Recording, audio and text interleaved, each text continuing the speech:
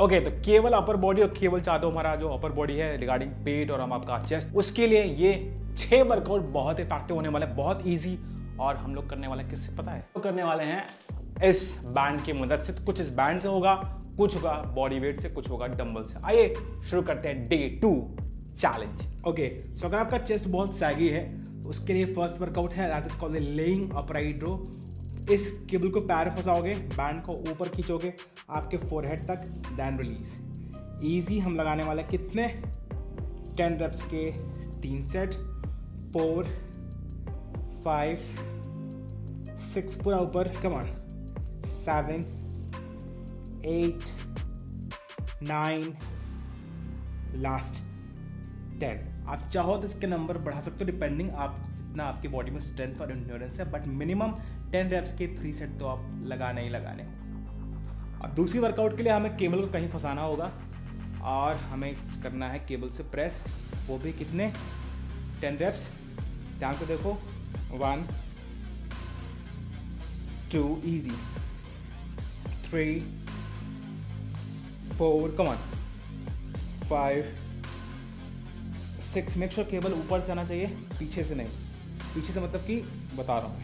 Eight nine ten ऊपर से मतलब है ये इंक्लाइन शेप में केबल आनी चाहिए, नीचे से नहीं आना चाहिए। अगर आप नीचे करोगे तो आपका लोअर चेस्ट ट्रेन होगा बट हम कर रहे हैं फॉर द सैगिनेस तो आपको केबल ऊपर से नीचे की तरफ़ लेके जाना है टेन डेप्स के थ्री सेट्स अब आता है third workout for the upper body वो होने वाला है आपके साइड लोअर चेस्ट के लिए।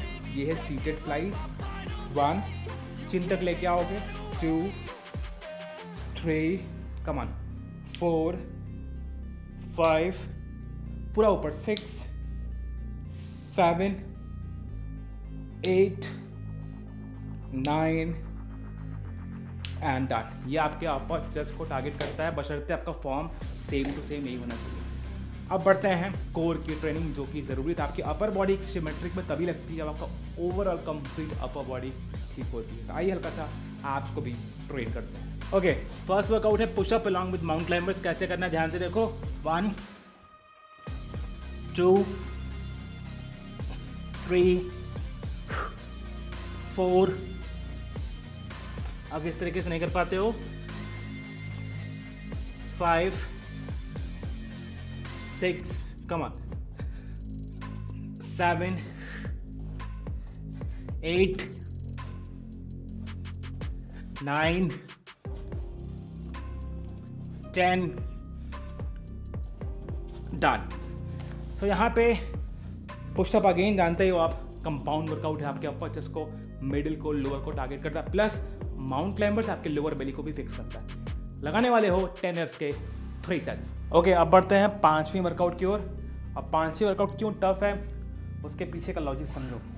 अब हमें चाहिए चेस्ट पे भी टेंशन हमें चाहिए हमारे कोर पे भी टेंशन तो यहाँ पे लेगरेज लगाने वाले हो।